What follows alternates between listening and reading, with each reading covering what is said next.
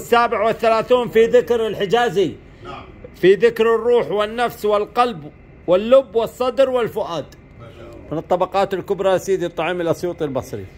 يقول ثم وجدنا كل هذه المسميات من روح ونفس وقلب ولب وصدر وفؤاد. هي في الحقيقة مسمى لمعنى واحد تتقلب فيه فالروح محل الكمالات. والنفس محل آه، السفالات والقلب هو الفؤاد والصدر هو اللب من آه، من حيث محل الانتقال.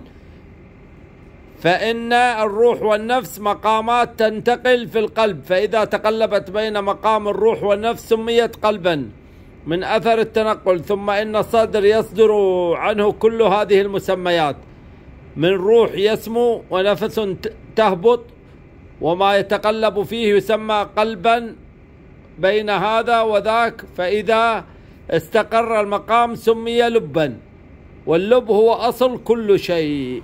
ها سيد الحجازي؟ نعم. يقول اللب هو أصلهم كلهم أصل الروح والنفس والقلب واللب والصدر والفؤاد. يعني بال... هذا كلام لغوي لأن الفؤاد هو موطن الشغف والمحبة.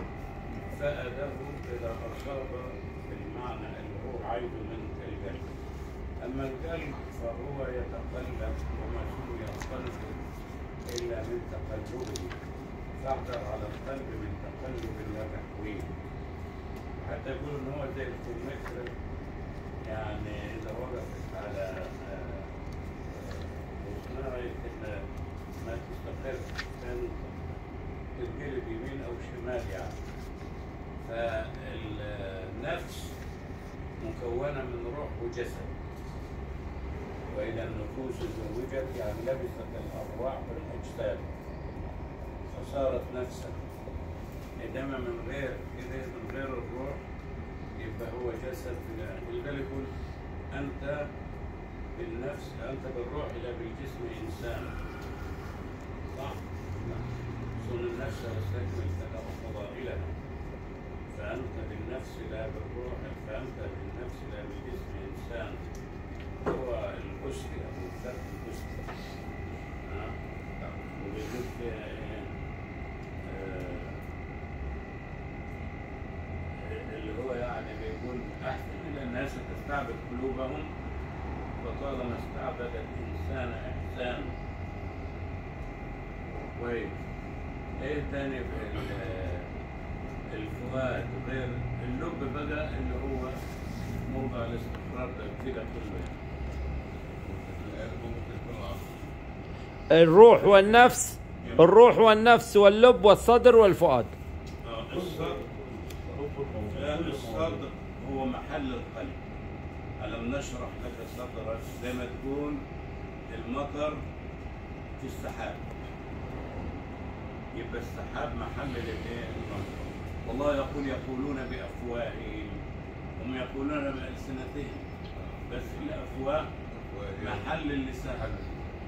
كويس؟ الفم ولذلك في آيات تانية قال يقولون بألسنتهم. كويس؟ فهو لا يعارض بعضه بعضا. فال إذا نزل السحاب بأرض قوم رعيناه وإن كان وإن كانوا غضابا. إذا نزل السحاب اللي هو إيه؟ المطر فعبر عن المحلية. المح- فالصدر محل القلب. ألم نشرح لك صدرك يعني إيه؟ قلبك وإذا ذكر الصدر يبقى القلب وإذا ذكر القلب يبقى العقل. إن في ذلك لذكرى لمن كان له قلب وعقل سليم. يعني عقل. يعني أو ألقى السمع وهو ما بصير شاء الله عليك ما شاء الله. ممتاز. قطب غوث. سبحانك يا رب. اللهم يفتح عليك يا عم حجاز ربنا ينورك عشان تنورنا وتفهمنا وتفتح علينا الآيات القرآنية اللي إحنا آه، عاجزين عليها. ربنا يفتح عليك. شكرا سيدي. ربنا يشرح صدرك. اللهم آمين آمين آمين آمين.